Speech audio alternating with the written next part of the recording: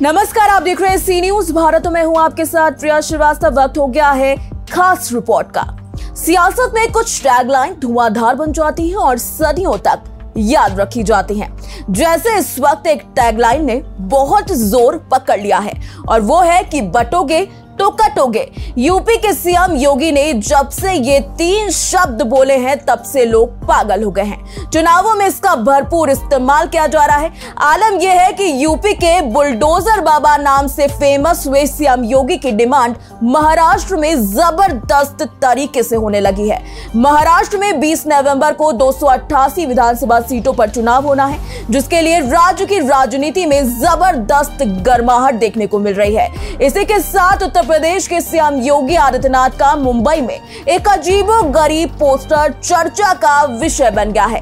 मुंबई में उनकी तस्वीरों के साथ पोस्टर लगे जिसमें लिखा है कि बटोगे तो कटोगे। अब इस पोस्टर पर योगी से लोगों ने सवाल किया कि आखिर ये सब कैसे हुआ? तो भाजपा नेता विश्व बंधु राय सामने आए और उन्होंने पोस्टर को लेकर तर्क दिया कि कांग्रेस और विपक्षी दल समाज को बांटने की राजनीति कर रहा है। इसीलिए उन्होंने समाज को एकजुट रहने का संदेश देने के लिए ऐसे पोस्टर लगवा दिए हैं। कुल मिलाकर अब माना जा रहा है कि महाराष्ट्र विधानसभा चुनाव में यूपी सीएम योगी आदित्यनाथ के बटेंगे तो कटेंगे के मंत्र को चुनावी मैदान में प्रयोग किया जाएगा।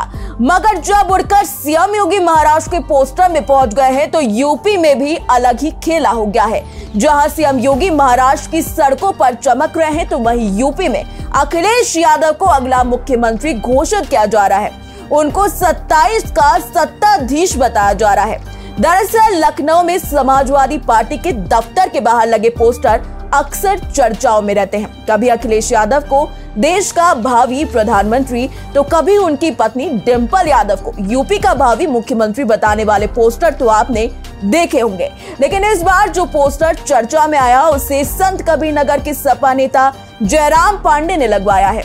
उन्होंने अखिलेश यादव की फ़ोटो के साथ पोस्टर पर लिखवाया है 27 का सत्ताधीश।